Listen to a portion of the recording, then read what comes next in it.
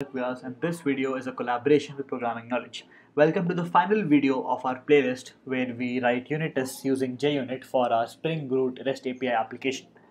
Now, in the previous videos, uh, we have learned about how to write unit tests for our pre-written uh, API methods, uh, get all book records, get book ID, create book record, update book record, and so on and so forth but we had left out writing the delete endpoint using the TDD method, which is the test driven development method. So in this video, uh, we will be writing or implementing our delete endpoint using uh, unit tests, which we write first, and then we implement our delete endpoint. So uh, this is going to be a very basic uh, TDD uh, implementation.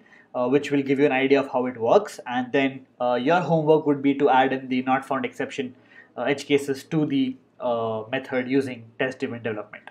So without further ado, let's actually start implementing it. So first to implement this, we need to have a test. So a test which is going to be public void delete book by ID and this is going to be a success test. So this is going to work to get our basic uh, delete uh, up and running and working. So it should just delete our uh, book and that's it. So we are going to be deleting by ID. So the first thing uh, that we need to do is we need to uh, use the book repository to call find by ID, right? We need to get the book first and then we delete it. So uh, let's do that first. Let's actually mock our book repository find by ID method so that we know that uh, whenever we call find by id in our actual implementation it will be mocked. So we do mockito dot um, when and here book repository dot find by id uh, let's do record 2 because we haven't done that in a long time.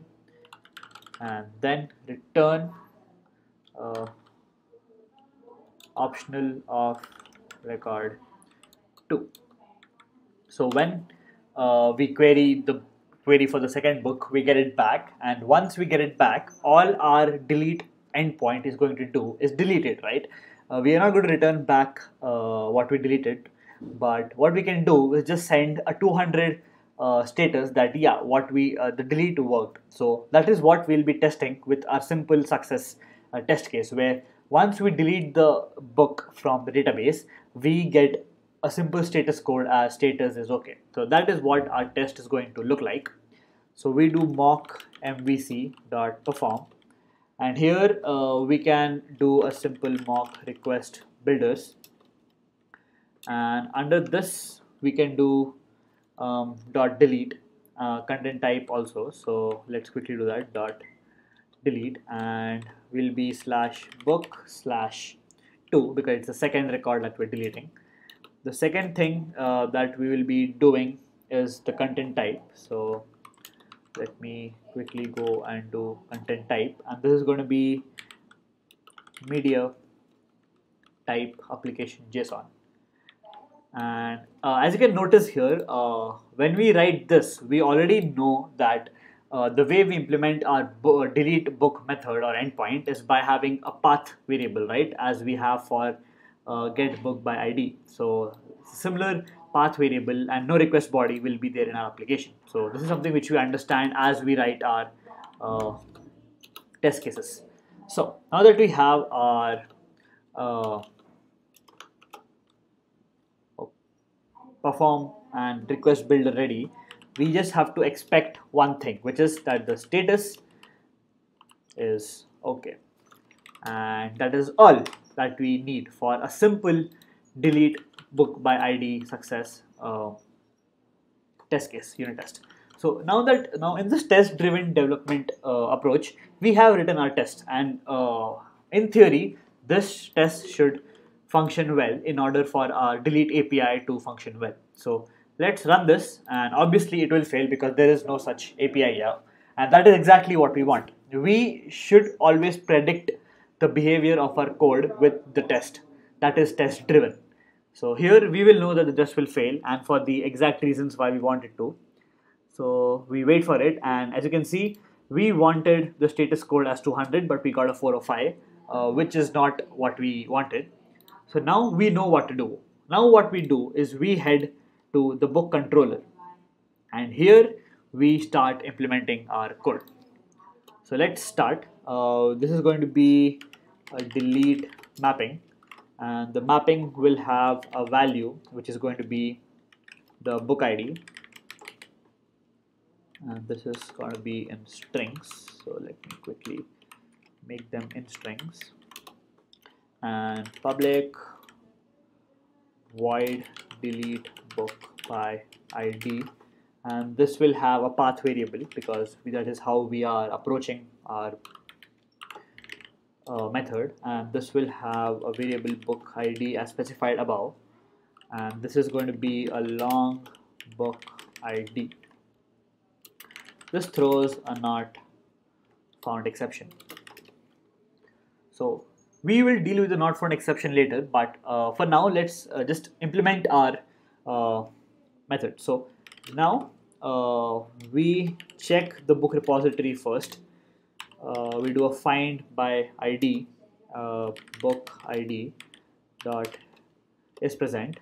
And if it is not present when we throw new not found exception. Uh, book id book id not present a simple uh, friendly message that the book is not present. And the next thing that we need to do is just delete the book from book repository. So book repository dot delete and delete by id is what we are going for and we give it the book id and we are good to go. So now we understand that it just took me uh, two minutes to implement my method because I already knew uh, what I was looking for and what I was uh, looking for in terms of the idea of how to implement it because I already had my test ready.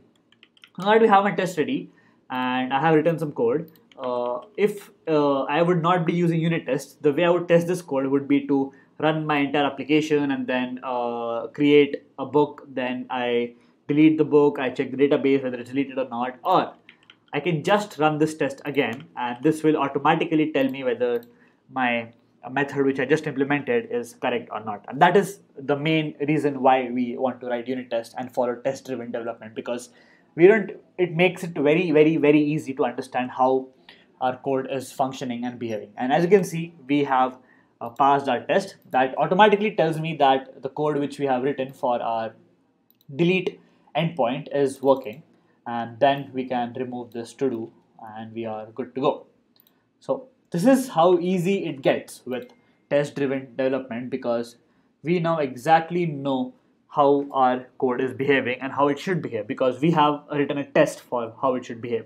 We know that it should behave in a specific way where if it's going for record 2 it should delete record 2 and the same thing would be for record 1 so if I do this as 1 uh, I change this as 1 and also this as 1 it will delete record 1 and we can test that again. And you can see how easy it is to actually update your test and change them and understand how your code is functioning as you do it now another way uh, to do this or to see what's happening behind the scenes is to you know run this in debug mode with a breakpoint so once you know the test is running we'll see how that is working so now I want to know what is happening behind the scenes, right? So I can just put a breakpoint.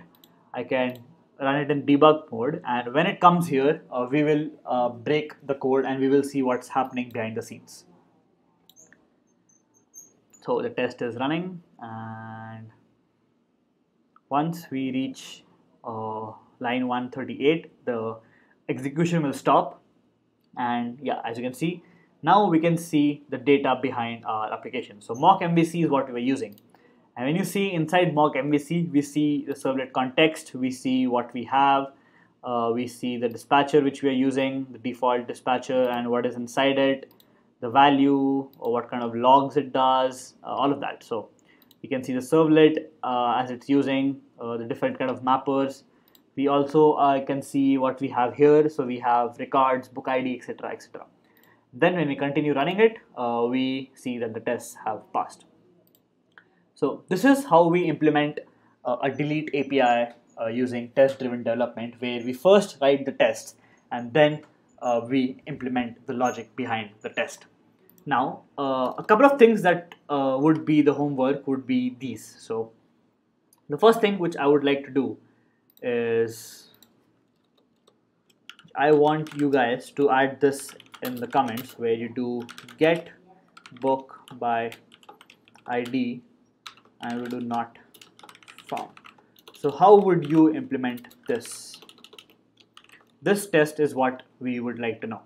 The next test would be something like not found for a delete. So public void delete book by id not found and what happens when you give it uh, a record as 70 as the book id and we try to delete 70 but delete but 70 uh, book id does not exist in the database so what how do you handle that test case will the code break or not so we handle that and we want to know exactly how the code is working so that is basically what we do with our uh, you know uh, negative test. So this is a positive test where we know what is going to happen, it's going to be successful.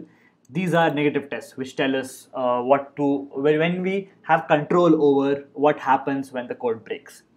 So this is this was the playlist about how we can write uh, unit tests for our Spring Boot REST API application. I hope this was helpful. If you have any doubts, please mention them in the comments below. And thank you for watching. I'll see you in the next playlist.